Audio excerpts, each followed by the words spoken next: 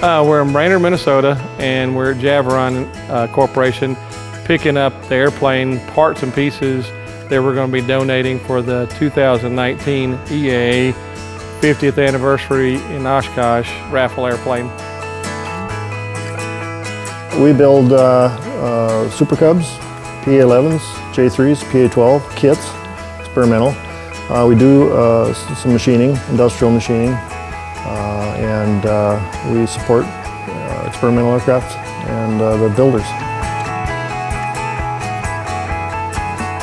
Well, we offer a kit that uh, we can tailor to each customer's needs. Not everybody wants a, a, complete kit, so we give them what they want. We've got a lot of variations in how we build it, so we can suit it to their mission. Well, I think our kit is the most complete one. Uh, it's the most versatile one.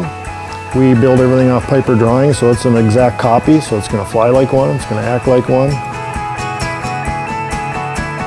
Well, Don called me a couple months ago and wanted to uh, know if we would be interested in building uh, the 2019 uh, raffle plane, and so I said, yeah, that'd be a good, good idea for both of us. What we're going to be having, uh, first of all, is a custom paint job designed by scheme designers. Um, the airplane itself, we're going to have a much larger door for entry and exit. We're also going to have the four inch wide cabin, so a lot wider. We're also going to have the airplane really designed around LSA, light sport aircraft. Um, we're looking to have the airplane come in at 850 pounds or less, which is a huge deal when you only have 1,320 pounds gross weight available to you. So we're trying to make sure we do every little detail. We're going to do some more lightning to it and make sure that uh, we make sure the airplane has as much gross weight uh, or useful load that it can have. Well, there's several different details. One is, again, it's been built, you know, up here at Brainerd, Minnesota by Jay as far as, you know, the framework. There's just nothing like it out there.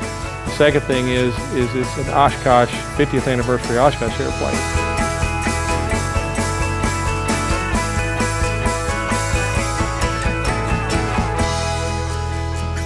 Everywhere you turn, there's going to be little nuances that are only going to be specific to this airplane. This is going to be the only one. Well, it's two, twofold. Obviously, being a partner with EAA on this is really a good thing for us as far as our business is concerned. But more importantly, it's going to support the youth and aviation programs.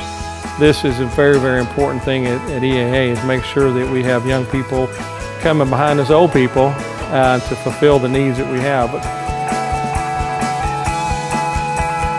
when you come see it, it's going to be almost a flawless airplane when we get done with it. I mean, it's hard to do that with fabric, but uh, that's kind of what we're known for. And um, when people see it, I think that they're gonna they're gonna go ooh, they're gonna go ah, and some of them are gonna look look dumbfounded like I do a lot of times. But they're gonna come see an airplane that uh, they're really gonna be proud to own